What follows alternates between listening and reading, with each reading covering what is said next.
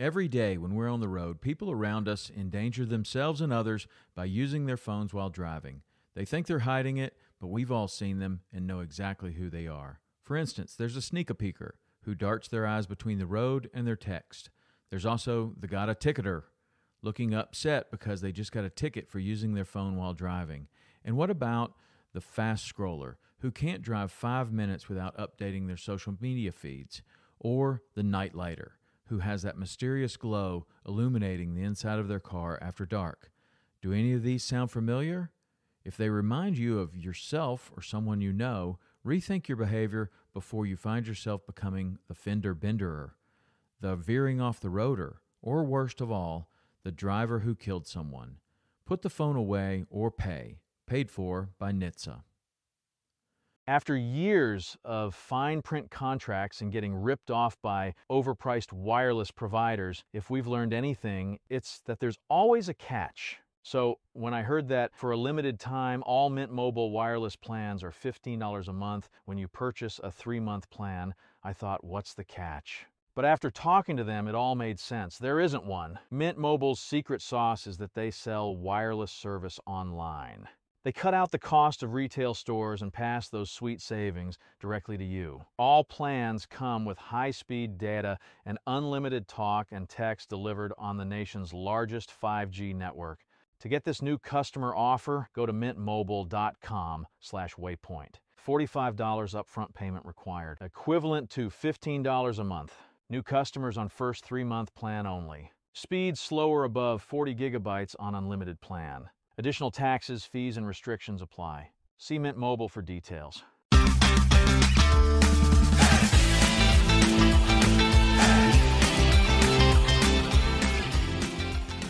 Hello and welcome to the Publicly Challenged Podcast. I'm your host, Luke Oswald, and I hope you join me on my quest for knowledge to become a better public land hunter, angler, and forager. Stick with this, and who knows, maybe we will learn something together.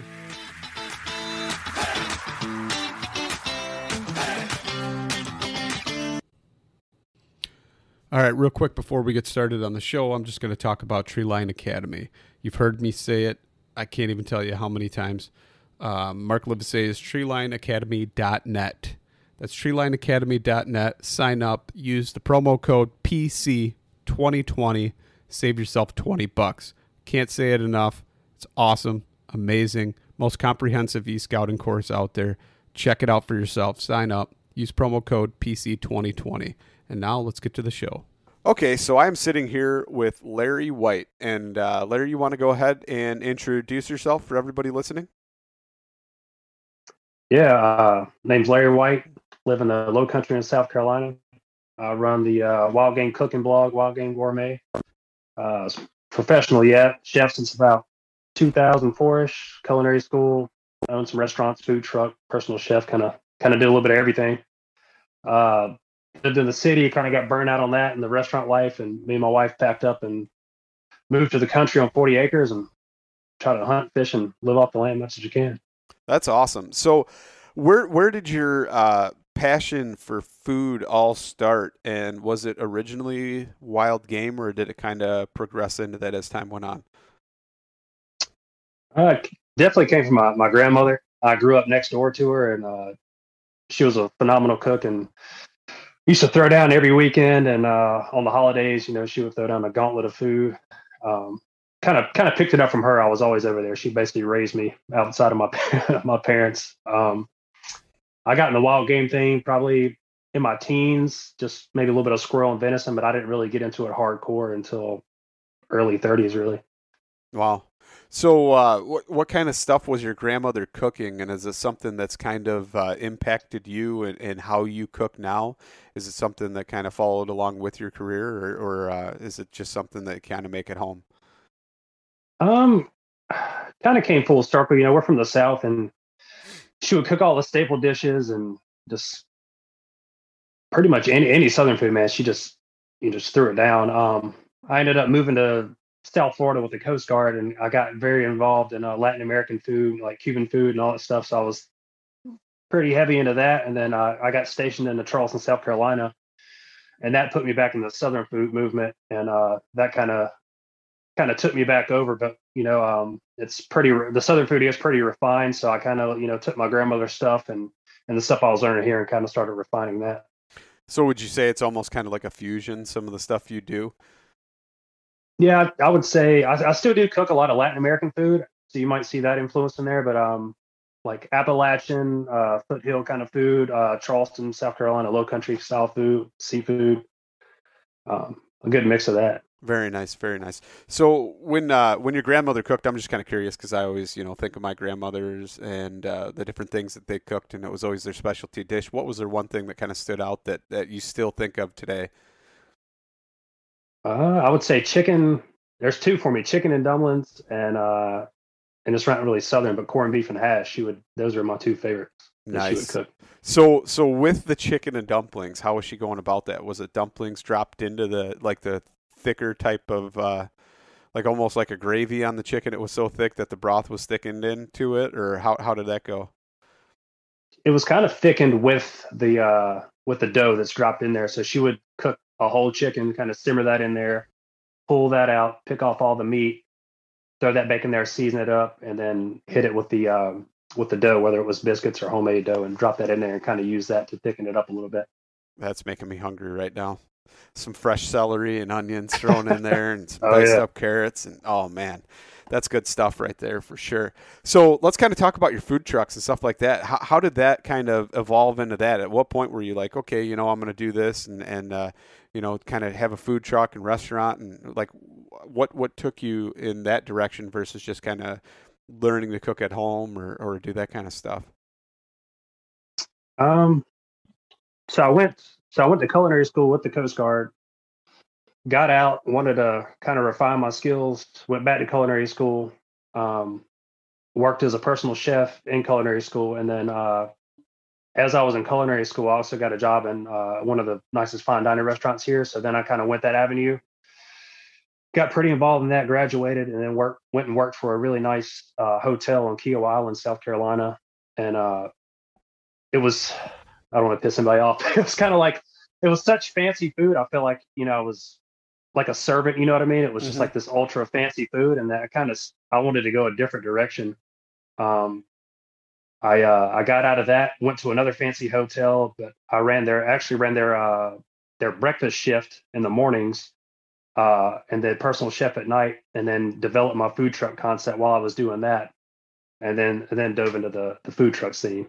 Um, I just wanted to go, you know, a little bit late, more laid back, and and be able to cook what I wanted to. Right. So so when when you ended up doing the food truck, what kind of food was it on the food truck? It was uh, Latin American street food. Oh. So I would kind of kind of so give me like a run through of, the menu because that sounds. I love uh, like Latin American, uh, Cuban type, uh, all that kind of food. I mean, that is is like one of my all time favorites. If I'm in a city that's a big city and I know they've got some good restaurants or something of that kind of style food, I'm definitely that's my first pick. yeah, it was it was fun, man. I uh I changed the menu like probably two or three times a week. Um, there there was some stuff I would keep on there, but I was just constantly, you know, trying to challenge myself and try new things. But I mean, anything from Cuban sandwiches, tacos, um, pupusas, arepas. I mean, a little bit of everything. in all honesty, that's awesome. Oh man, that's good stuff. So then it kind of pivoted, and like you said, you know, a little bit in your teens, and then later on in your 30s when you really started uh, getting into the hunting. How did it? I mean, progress and start out? Like, what were you going after first? Because I mean, obviously, a chef's perspective is slightly different than you know your average hunter, especially like a whitetail hunter. It seems like uh, you know, if they if they don't do it themselves, it seems like they always go after you know. And I'm not saying there's anything wrong with it, but salamis and different things like that. I'm sure you were interested in specific cuts and things like that. What what were you kind of looking for when you got into it and started doing it? Um, in all honesty, I was like just trying to keep it in its its freshest form, I guess you could say and I wasn't really trying to dive into it and try to manipulate the flavors. I just I just wanted to kind of start with the basics and and just try to see what it was all about, all the flavor profiles in it, and then and kind of go from there. I would I wasn't really into uh I guess coming up with all these crazy dishes at first. You know what I mean? Yeah. Um, So, I mean, what were you pursuing as far as game? Everything, or was it uh, kind of specific what you were chasing to try and tailor make some meals? Are you talking about what's like species and stuff? Yes, yes. Oh, I'm sorry. Um, it's whitetail, uh, wild boar, squirrels, uh, rabbits. Um, I've, I've made it out west a couple times. I haven't gotten lucky enough to get anything got close, but I've got some buddies that uh, got to go got to go on a trip that I actually had to, to bail out on, um, and and got some good meat and uh, sent it my way uh, to help me out. So I've I've got some friends that give me some western meat. yeah, you know, I uh, I am in that same category as you as far as uh, western hunts and and success rate is zero. So I'm uh, I'm with you on that. Hopefully that'll change here in the near future, but uh, you know you never know. Um, so what kind of meat was it? Was it bear meat, elk meat, or uh, what kind of species?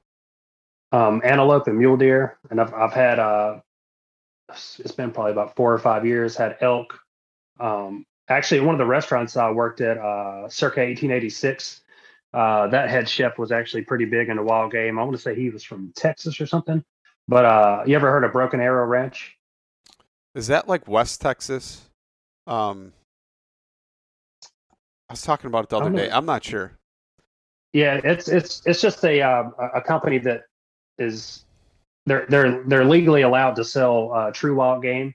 Oh, okay. So they they actually go out to different ranches, or if, if a rancher has a problem or whatever, they can literally you know snipe off a you know wild deer or, or venison or, or whatever and they have a truck they can get everything cooled down and processed and they, they actually get it usda approved to sell it to restaurants um, so i actually cooked antelope a lot uh, in that restaurant as well back in the day that's pretty cool that's that's uh, yeah. something that you don't hear of too often um, so let's kind of get into like what uh, you and i talked a little bit beforehand about you know foraging and stuff like that like what are you kind of looking for right now for some of the dishes that you're you know coming up with or making or uh, you know preparing this uh, this time of year? Uh, for me around here, it's definitely going to be chanterelles. That's the easiest for me to find, and when you do find them, you usually find a, a pretty huge patch. so, what are you doing with them? What what do you? I mean, like simple, like uh, saute and butter, or I mean, what what kind of stuff are you making with it? Uh, pr- pretty simple, man. With with mushrooms, I mean, back in the day, I would make different sauces and whatnot, and I feel like it, you know, would mask it. But with uh, chanterelles, I'm either just sauteing them in butter with a little bit of vinegar at the end, or maybe a little bit of wine to to elevate the the flavors a little bit. Um, I would say the most I would do is kind of make like a chanterelle compound butter or something, which can't really go wrong with that. I mean, that's probably as elaborate that I'll get with the with the mushrooms. Um, I have made mushroom terrines and stuff like that. I mean, you can get into the into the into the crazy stuff. That stuff's delicious, but uh, not not many people are gonna put in the effort to make them. So so explain a ter- terrine for me because that's like French cuisine. Um, what exactly is that? So it's basically you can you can you can make them with vegetables or meat. Um, usually when I make them, um, I've done like a wild boar terrine. It's basically like a sausage, uh, kind of like force meat. Um, it can be blend it with cream and and the meat, or it can just be emulsified with the fat. And uh, you can use different binders. Um, the type of grind is gonna that you use is gonna uh, alter the texture. Um, but but the main one that I would usually make is a, a wild boar and um, uh, pretty much any kind of wild mushroom terrine. So you would have a terrine mold that's I don't know about 13, 12 inches long and a few inches wide. You would put down a layer of uh, wild boar um, have pre-cooked like poached uh, mushrooms or gently sauteed put that in the middle and then top that back off with more pork or you can fill it with other stuff. And you would put that in a water bath in the oven and cook it at about 300 degrees. And as soon as it hits about 150 155 you pull it out um, put something on top of it to compress it throw it in the fridge overnight. And when you pull it out the next day it's kind of completely um, compressed no air pockets and the mushrooms will be kind of like in the center of it. So when you slice into it you're getting like almost like a spam looking yeah. slice of meat with with a mushroom inlaid in the middle. Okay, yeah. So I know what you're talking about now. I've seen it, never done it, never actually tasted it. For some reason, I've got a, still a slight like aversion to to cold foods that you know or meat. You know what I mean? Like other than like maybe oh, like yeah. a lunch meat or something, but something that's prepared that You know, like I could still take like a you know a chicken leg out of the fridge and, and gnaw into that, but for some reason, I don't know, stuff like that just still kind of skeeves me out. I haven't quite got to Oh, yeah. that level of eating that, but I, I probably should. I probably should give and, it, and, give it a and they actually are delicious to um uh you can actually kind of sear it up you know like let's say you are cooking spam matter of fact i just made some homemade spam but uh um but yeah you can crisp those up in a non uh, a non-stick skillet and uh they're actually pretty good too if you don't like the cold meats So would that be kind of like a scrapple at that point then, or uh, yeah i mean it kind of resembles it yeah? in all honesty yeah Okay, all right, and that's something uh, that you don't find too often around here by me in the Midwest, but but uh, when you get over into the eastern southeastern states, it's kind of pretty pretty commonplace as far as that goes. yeah i grew up eating uh liver which is almost the same thing i want to say it's the the coarseness of it's different but i grew up eating uh, liver pudding Okay. It's it's it's a, it's pretty much the same thing, but I think it's a finer texture. Yeah, that's all interesting things. So let's kind of talk about some stuff uh, that you've got in the works. Uh, some pretty cool things coming down the pipeline as far as uh, you know uh, some learning courses and stuff like that that you got going on. Yeah, um, I joined uh, outdoor class. Uh, it's powered by uh, Go Hunt, and um, uh, I think Corey Jacobsen is a, a big partner into it. I, I think I think with uh, Elk 101, Rocky Mountain uh, Elk Foundation, um, it's basically kind of be like a uh, masterclass platform. So you basically pay for a subscription, and then it's going to have uh, wild game chefs on there, um, uh, hunting experts like Randy Newberg, uh, Remy Warren, and so basically you could learn uh, with one wild game chef, you learn how to do different kinds of cooking techniques, or it could be elk specific. And I think with Remy, he's teaching mule deer hunting, and then uh, Corey Jackson, I think elk calling. And I want to say right now there's uh, maybe 12, 12 Yeah. people on there right now. Yeah, I, I was actually I just kind of was looking through that for the first time, and so like uh, Brian Call, Ryan Lampers, uh, Mark Livesay, he's going to be doing the e scouting, and that guy is just the stuff that he does with that e scouting is just phenomenal, and he's got his own class, uh, Treeline Academy, and Okay. and it is mind boggling that a man has learned how to do that much because I'm pretty computer illiterate. And to know that he is such a nerd when it comes to computers that he just, I mean, he obsesses about it. And you can tell, I've sat down and watched him teach a course before and an actual live course and, and listening to him go on and on. And the fact that, like, if somebody has a question, he's going to field every single question that you have and keep going and going until he runs out of time, where they physically have to say, "Hey, no more. We've got other time slots we have to fill." Um, it, but but to see see how much he's done and developed and put into his course, like it's it's amazing to see that too. So I'm kind of excited because the caliber of, people that you've surrounded yourself in that group and you it shows testament to who you are and what you're doing and and uh, you know the good things that are uh, coming out of your way. So it, it's kind of nice to see um, see all those people get together and you know hopefully put put something amazing together that you know people can actually benefit from right? So that's a good thing After years of fine print contracts and getting ripped off by overpriced wireless providers, if we've learned anything, it's that there's always a catch. So when I heard that for a limited time, all Mint Mobile wireless plans are $15 a month when you purchase a three month plan, I thought, what's the catch? But after talking to them, it all made sense. There isn't one. Mint Mobile's secret sauce is that they sell wireless service online. They cut out the cost of retail stores and pass those sweet savings directly to you. All plans come with high speed data and unlimited talk and text delivered on the nation's largest 5G network. To get this new customer offer, go to mintmobile.com slash waypoint. $45 upfront payment required, equivalent to $15 a month. New customers on first three month plan only. Speed slower above 40 gigabytes on unlimited plan. Additional taxes, fees, and restrictions apply. See Mint Mobile for details. Yeah, I'm I'm excited, man. I think it's going to be one of the best tools out there. so so have you started uh, recording or planning or doing any of those things for it yet or is that coming in the future Um, every, everything's written. Um, we haven't filmed yet, but the course is uh, is written for me. Um, they they gave me full you know free range for that, so I, I wrote the whole thing. Can you can you speak to any of that, or is that not allowed at this point? Uh, I, I can say um, it's it's based on uh, wild game cooking techniques. So rather than focus on a, a specific um, species, I'm kind of uh, try, trying to teach some techniques that everybody can learn, and then kind of carry that carry that over to different you know species. So if like maybe if you, if you learn like a cool technique from me, uh, maybe you can um, kind of hone in on that and perfect it, and then you know you take Hank Shaw's course. Maybe you can you know try one of my techniques on his and kind of elevate. Not that he you know he's he's a badass, he knows what he's doing, but you know I'm, I'm hoping I can you know broaden people's you know range on how they cook. Yeah, that's one of the things, and and you know, talking to Hank and and learning from him and uh, getting to discuss different things. Like my new obsession this summer is really trying to nail down cooking fish in different ways. Um, you know, Yeah. besides just um, you know, besides just fillets and frying them up, or, or you know, uh, baking them in the oven or something like that.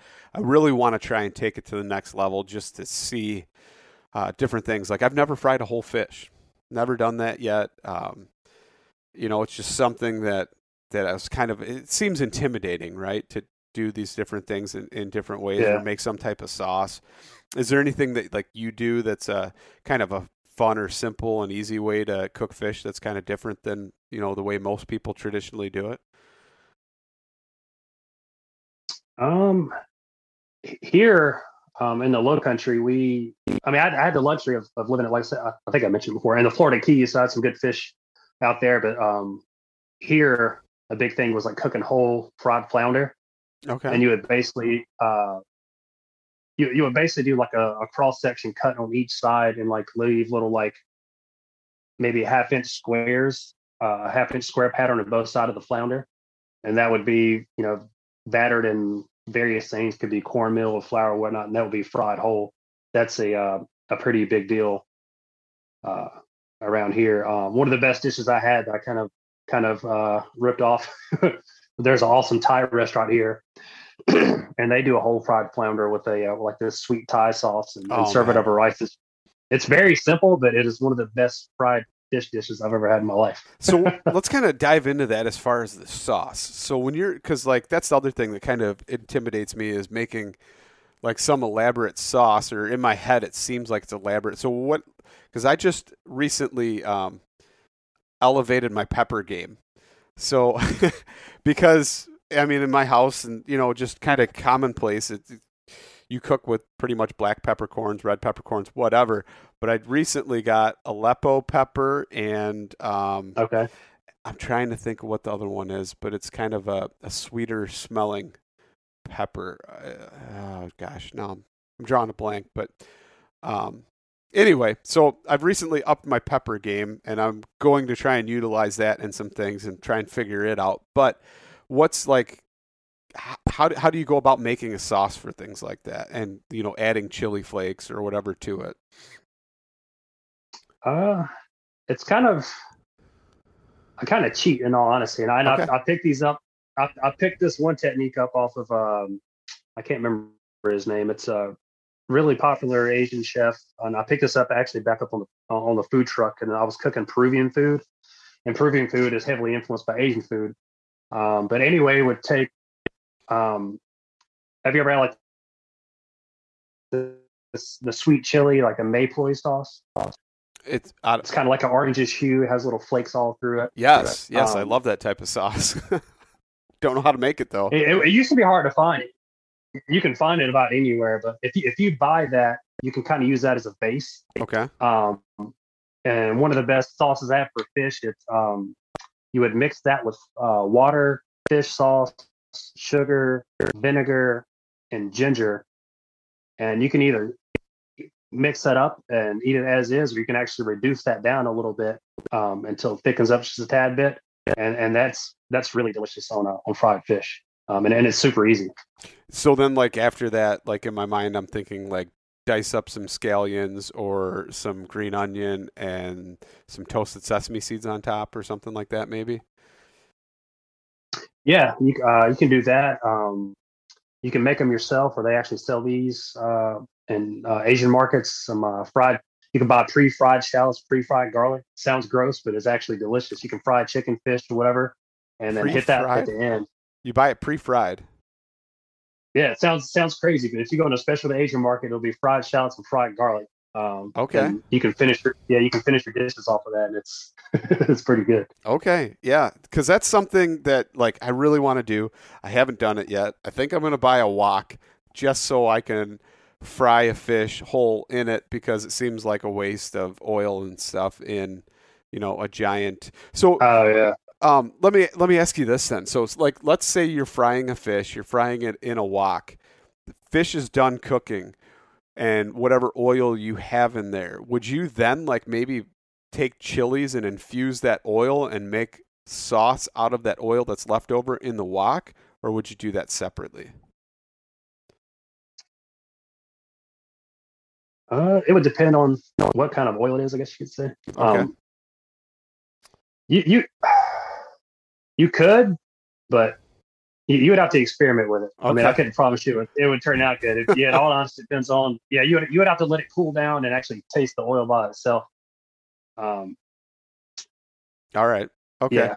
But So- but but that being said, if you make your own fried garlic or something like that on the side, um, that that's actually pretty good. So you can take your fried garlic and then you know save the leftover oil from that, or your shallots, and, and that's kind of a little infused oil. Okay, so I leads me to the next question. Say you were frying your own shallots or garlic or things like that. What type of oil would you use? Would it be like a sesame oil or or something with like even a higher smoke point?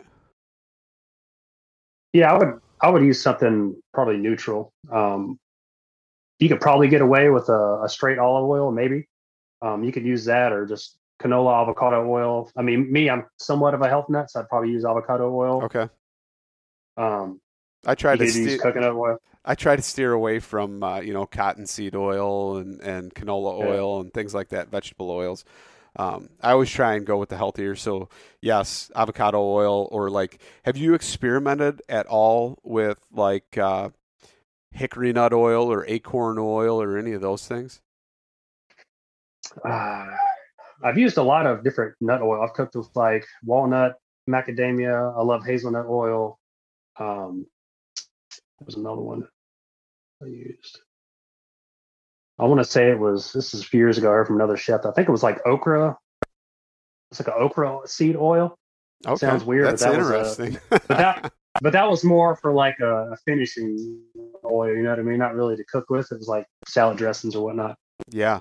So I got some. Um, I don't know if you know who Sam Thayer is, but he is like Forager's Harvest, and he does a lot of different foraging things. In fact, like he's pretty much the the book writer for your modern day foraging books.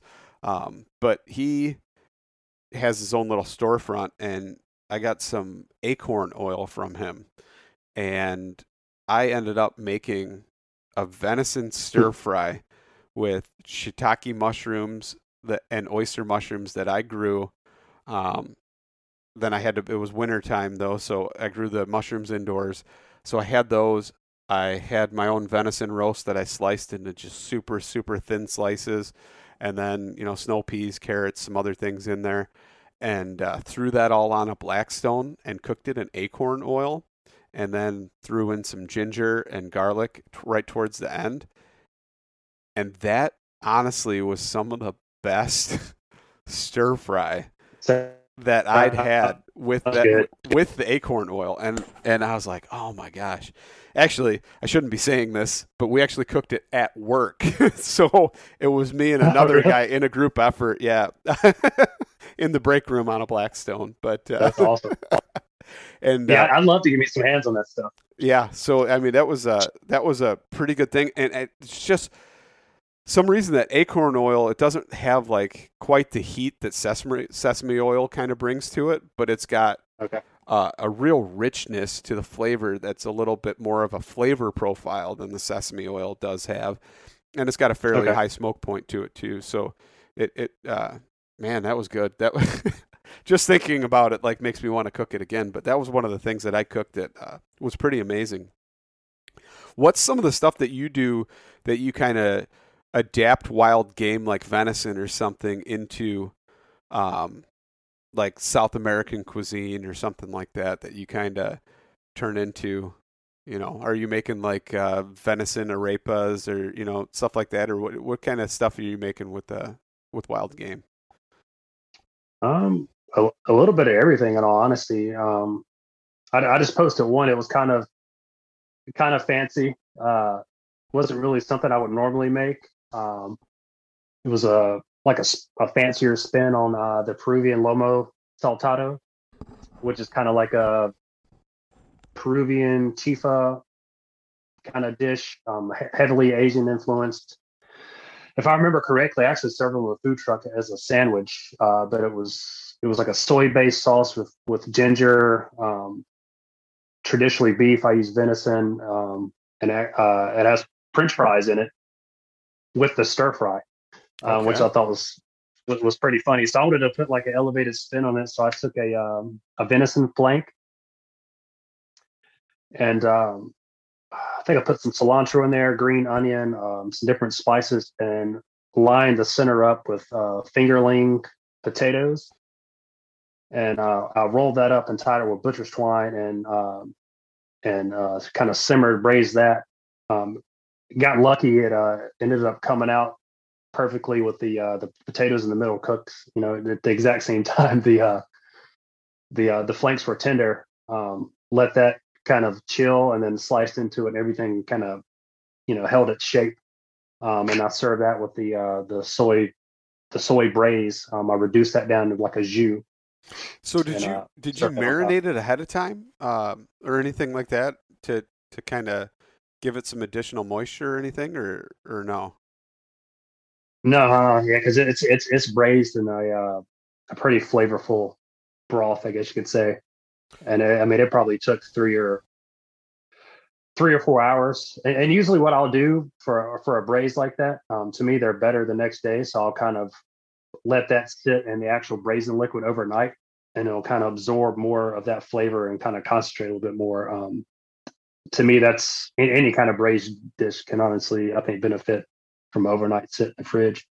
Okay. Yeah, that's uh any kind of peppers or uh different type of chilies or anything like that in the sauce or was it kind of more of just a soy type uh base? Yeah, yeah it's more more more of a soy. It had um I want to say I stuffed it with bell peppers too um because the stir fry actually had peppers in it. I, I cooked so many random things, man.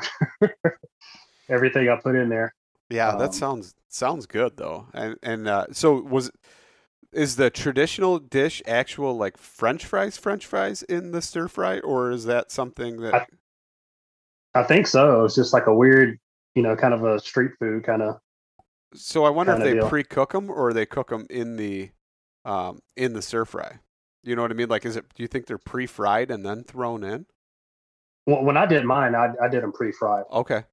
Okay, you did. Yeah. So you would, so so you would stir fry everything, have the the fries already cooked, hit that in there, kind of get the uh, the fries coated in the in the fat you're cooking in, and then hit it with the soy and just kind of glaze it. Interesting. That sounds sounds pretty good. Uh, might be something. I'm, gonna, I'm gonna, have to look it up and uh, maybe maybe try and play around with that. One thing I want to ask you though is uh, sous vide cooking. Do you do you play around with that a lot? Uh, I might make some people mad. no, um, we so which it's been out for a while. It it, it kind of got popular back when I was in culinary school. Um, you know, with with El Bulli and uh, Ferran Adria. Um, mm-hmm.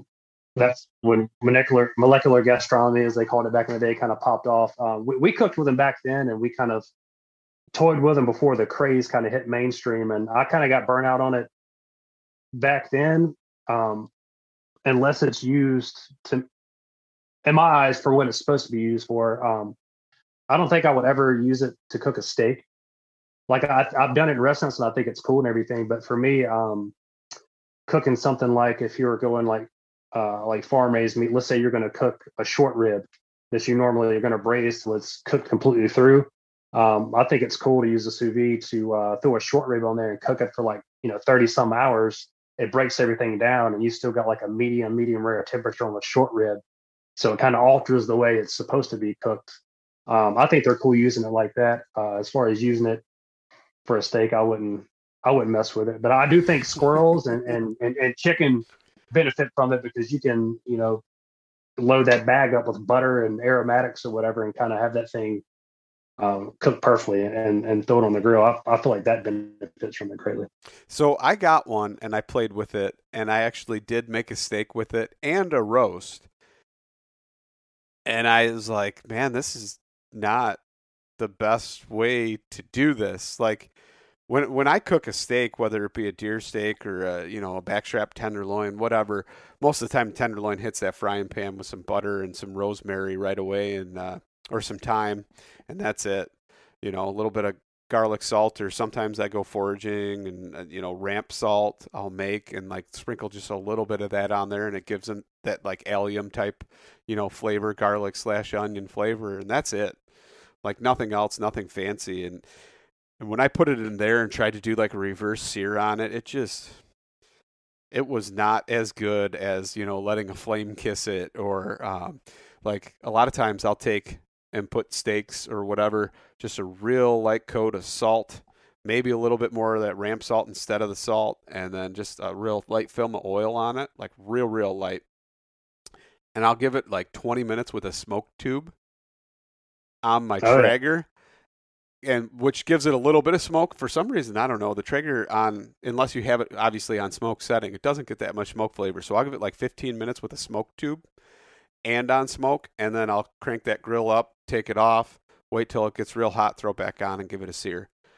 And that's you know like to me that's that's the best way to eat a steak is uh, get that sear on both sides and then call it a day. you know. Yeah, I mean it's yeah, I mean, in my eyes, you know, it's not worth it. Um, in a restaurant setting, you know, we've worked, we did some banquets or whatever where you got to have like, you know, a hundred filet mignons cooked to medium rare. Uh, I think that's, you know, that that that can come in handy. You know, if you got to do that, you want to cook hundred steaks, you know, perfectly at the same time. yeah, I remember all the way back when I was in college, a kid was in my class, and I went a little bit later uh, in life, but um, I was we were in I, I, can't even remember what class we were in together but he was also in culinary. And so we got to talk about food a little bit. And one of the things that he mentioned was he liked using a sous vide back then and would render down duck fat and cook hmm. like turkey legs in the duck fat and infuse you know that duck fat flavor into them stuff like that where you needed to break down the meat a little yeah. bit more. And that seems pretty logical to me, especially with like a wild turkey. It seems like a really good thing for that. And in my mind, I just I want to make tacos out of everything because I love yeah. tacos, right? and who doesn't? But um, you know, throw some different stuff in there, some seasoning, some cumin and garlic, and maybe some smoked paprika, whatever. And get some good flavoring out of it and make something like that. And then, now that you mentioned squirrels, I didn't even think of that. But so, like, can you kind of walk me through something that you would do with squirrels in that sous vide and what you would make? Uh, I, I, would kind of treat it like a uh,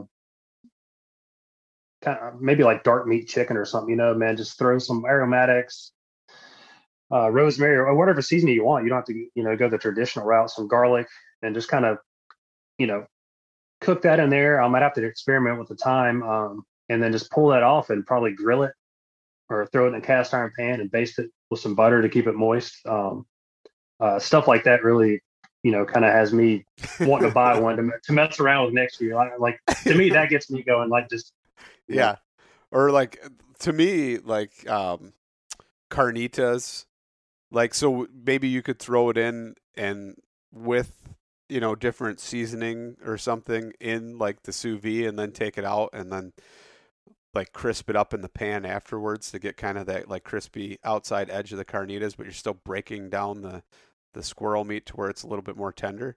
Something like that might be pretty good too. I love some carnitas. Yeah my uh actually i want to say i invented this technique of chicken wings. It was uh i came out with this way I, I wanted to do chicken wings. I was pretty particular about it. And then uh, another chef came out with his way of doing it in a cookbook like a few years later.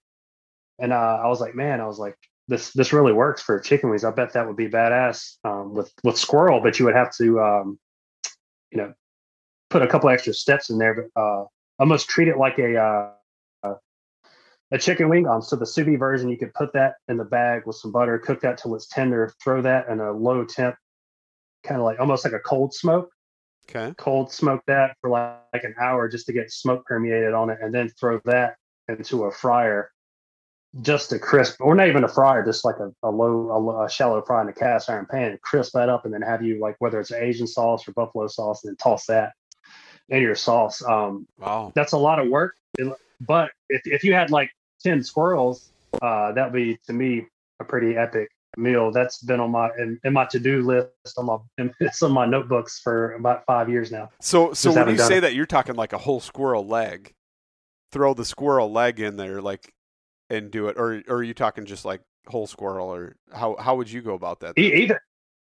I I've thought about it in two ways. I've thought about uh, doing the whole squirrel and just kind of uh, seeing how that laid uh, played out, or literally che- treating like chicken wings and, and, you're just cutting off the legs and and doing it that way.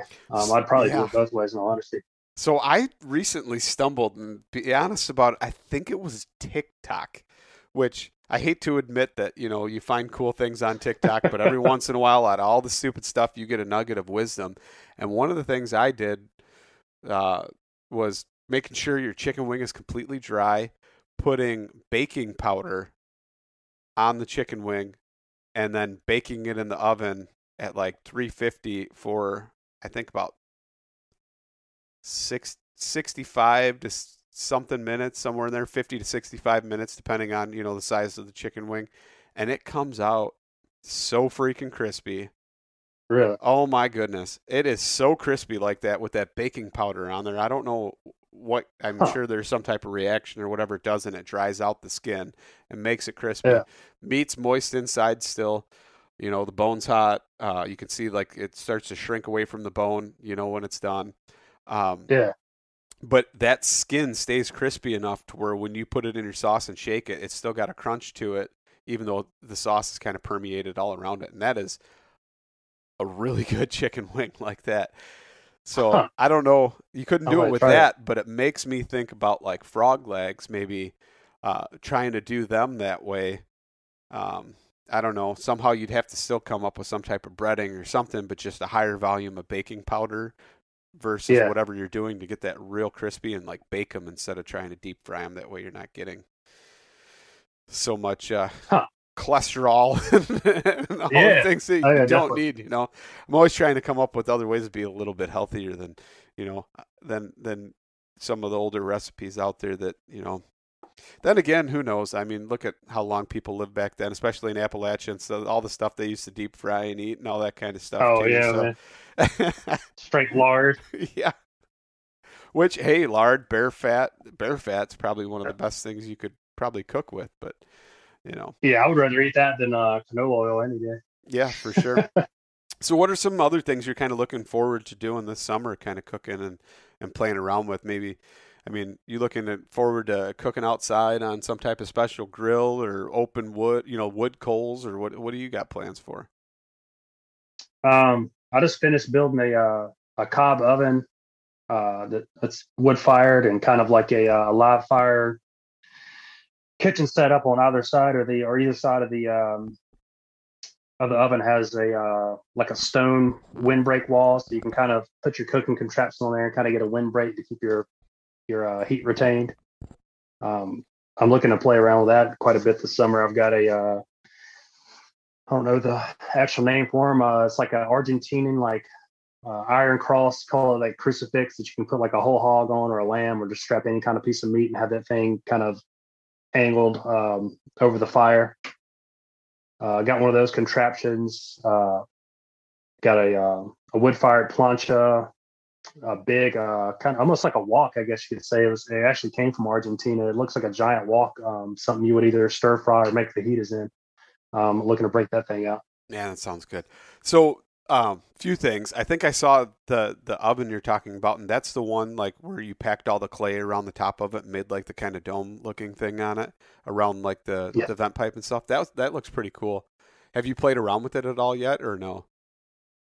Uh, I I literally just lit my last um, kind of like prep. Guess you would call it like a prep fire. Like a curing fire or something? To yeah, kinda- like a curing fire. Okay. Um, and so I've got a buddy coming into town that uh, um, that was kind of helping me put the clay together or whatever in the beginning. He's coming back into town uh, Saturday, so I think the first meal is going to be cooked in it this weekend. That's awesome. That's so cool. So then uh, the the Iron Cross thing you were talking about, the crucifix, or what what was the actual name? It's called. Um, I don't. I want to say they call it like an asador or something. Okay. that might be And that's- but if, if That's the one where like they get a big, big fire going and they let it break down into coals, right? Like they just keep piling wood on and, and then they get the coals and then like it'll either lean kind of over it a little bit and they rotate it, or I see. Yep. Where they have one where it like stands straight up and it pivots, like it's got the two arms of the cross on it actually like spin around the main pole and they have like strings hanging down off of it and like the meat almost twirls on it, right? Is that like a and I think I've seen them cook chickens like that too. And they have the string, and you just kind of keep they keep twisting the string every once in a while, and it spins so the chicken's kind of almost like on a rotisserie the whole time. Is that the kind of what I you got going? Yeah, I kind of started building the. Uh, I guess it kind of looks like a bird cage, but I've built mine a little bit different. Um, I've got something like that. I started building. I need to finish. Um, the uh, the iron cross, the asador is exactly what you were saying. You can uh, you can pitch it at different angles. Uh, you can spin it around, have it uh, you know vertical. Um, it's actually cooked. The first thing I cooked on it was some wild hog ribs, and uh, you know they weren't as tender as if you were throwing it in the smoker, but they turned out you know still falling off the bone and turned out pretty good. Man, that makes me want to go shoot a bunch of hogs now. I haven't I haven't shot any in a while, and I I should have done better when I did have my hog to try and you know do different things, but at the time I just didn't have the time to cook very many things, and I just did a few dishes with it, and and I tried smoking some, um, and it was just a little too tough. It needed like a lower, slower type of method. I tried throwing it in one of them barrel Okay. cookers, you know, um, and it just it wasn't that great. But uh, I need to get some eating size hogs, I think, and try and do some different dishes with them, and maybe even try and do a whole hog. You know, something. I, I just I feel like I got to play around with it again now after you saying that because it sounds good, and uh, I might have to hit you up for those plans. Did Do you do quite a bit of hog hunting? I have not done hog Okay. hunting in in uh, probably, gosh, eight nine years. But yeah, I did it a couple times before then, and I always had fun. Uh, one time, my buddy and I went out and uh, we we used bows, and he used his long bow, and man, them things are tough. Uh, my brother-in-law ended up shooting the same hog my buddy did, and my buddy's like, "No, I hit it. It was laying down, sunning." and he came up behind it real early in the morning and shot it through uh through the backside of the rib cage and watched his arrow bury in all the way to the fletching. And uh you know he's like I know I took out at least one lung and maybe heart. Well he ended up taking out one lung and puncturing the other lung. And uh, the only reason we know that is because my brother-in-law shot the same hog. And uh we had it hanging dressing it out and sure enough, there was my buddy's shaft from his wooden shaft from his uh, longbow arrow stuck inside of it. And it was like, That's crazy. holy cow. It was a day later. A day later, That's he nuts. shot that same hog. So, I mean, th- them things are tough. My favorite thing, I actually built a uh, 30 caliber AR 15 that I like taking out and playing with. It's 7.62 by 39, and I've got 168 grain 7.62 by 39 projectiles that I uh, I use, and that that goes through both shoulder blades and drops them on the spot. So Oh that's, man, that's pretty fun. In fact, I've got a hog head from gosh eight years that I've been meaning to kind of take down and do a skull mount. I just haven't had time to get around to it for my buddy. Uh, my buddy's in a wheelchair, and he actually got to go out with us on a hog hunt, and that was his first time ever out hunting. And uh, so I've got it for him. I just haven't gotten around to doing it for him. oh yet, but- yeah, but I need to once I get boiling some skulls here. I've got a couple other ones that I need to get going. So once I do those, I'll bust that out and get that made up for him. So that'll be kind of cool. Give that to him because he's probably already yeah. forgot about it. But uh, yeah. So do you do a lot, a lot of hog hunting then, or? Uh... Yeah, um, my my property's kind of uh, flooded with them. I guess you could say. Um, I don't really hunt them until after after deer season. I usually hunt them, uh, you know, January first until maybe like around March first. Uh, but but yeah, I mean, yeah, I mean, I, I, could I could shoot one probably you know every couple days if I wanted to. probably wouldn't even put that big of a dent in them either. That's what's crazy about hogs, you know. But no, no, uh, I had a buddy come down um, this past winter. He was a younger guy, so he was all gung ho, never shot a hog before, and uh, he uh, actually left left the tree stand and came back to the tree stand. I had I had a camera out there, uh, a cell camera, and uh, he shot shot three in one night. Uh, you know, uh, my stand was right behind the pond, so he had kayaked out there. They can't hear you. Got in the stand, shot one, kayaked the, the hog back, and he did that I think three times that night. And then over the course of uh, three days, I want to say he got like six or seven, six or seven hogs. But uh, man, but yeah, yeah, and uh, yeah, they just don't care, man. He laid down a couple. They would leave for an hour, come right back. Yeah. No, I actually uh, was down in Texas um, when they had that ice storm. What was that? Would have been not this winter, but the past winter uh, when they had that ice storm, and I was down there, and my dad, oh, yeah. my dad uh, was down there for a while, and I went and visited, and uh, I ended up not having time, but he was really trying to get me out and uh, go out there with him and I just I'd never had a chance. Some other family issues were kind of a little more pressing at the moment than going and sitting in a blind yeah. and shooting some hogs. But uh, it would it would have been fun. So I mean the the opportunity's yeah. still there to get back out and do it, but just haven't haven't really had time to put all those pieces together. But I, it sounds fun, and now that you're talking about it, it would be nice to get a couple of them and be able to try and do like a whole hog on on the cross and uh, cook it over a big open fire like that for yeah. sure. So yeah, that's definitely something that's going to happen to happen. But uh, Larry, it's been awesome talking to you, and we could probably go on about food for a long time, and probably even just hogs. But uh, can you kind of tell everybody where they can find you and find all the cool stuff that uh, you know you're you're cooking and uh, putting out in articles and recipes? Yeah, I'm uh, mainly active on Instagram. Uh, it's under Wild Game Gourmet. Uh, the website is thewildgamegourmet.com. Um, I'm active on both of those. Uh, you can sign up for email list. I send out recipes, uh, you know, a few times a month. If you got any questions, you can hit me up anytime. I'm I'll pretty much answer, you know, anything you got. That's awesome. I appreciate you uh, coming on and, and talking and educating on food, and it's always good to, you know, see what other sportsmen are out there doing and giving justice to those dishes. So it's uh, it's always a good thing to kind of learn what everybody else is doing and get some takeaways from it and be able to take that that wild game to the next level. So I appreciate it. Thank you so much. Yeah, man. Thanks for having me on.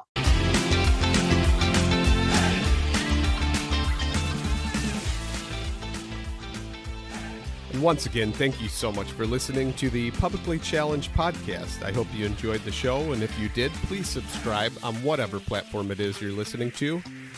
Also, if you could leave a review, that would help us out. And you can check us out on Instagram or at publiclychallenged.com. And once again, thank you so much for listening to the show.